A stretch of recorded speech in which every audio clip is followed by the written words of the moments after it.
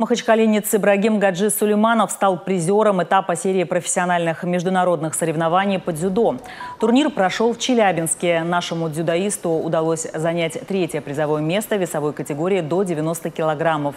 Всего в соревнованиях приняли участие 298 спортсменов, как из различных регионов России, так и из-за рубежа. В течение двух дней определили обладателей 14 комплектов наград.